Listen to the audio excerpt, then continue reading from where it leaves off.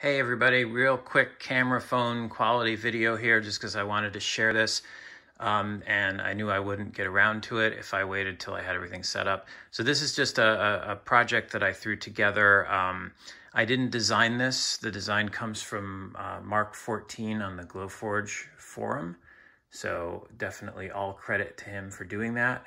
And the controller in this is Ben Hencke's Pixel Blaze, which I would highly recommend if you're doing any sort of uh, LED strings or matrix or even 3D type of stuff.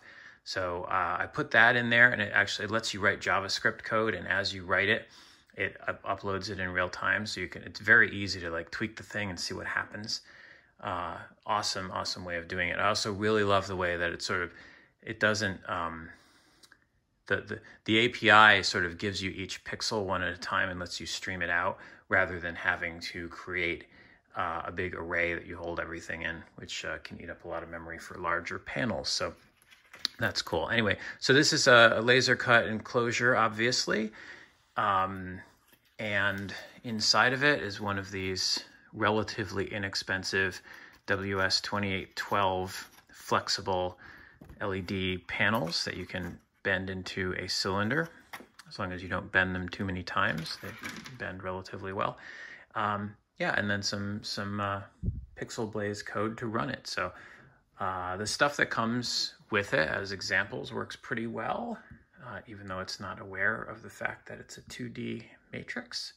So these are really nice designs. Um, some of them, like these, this is one of my favorites, uh, does come with it, and and uses the 2D mode, so it's aware of, of the matrix, and you kind of give it a mapping as to where your pixels are.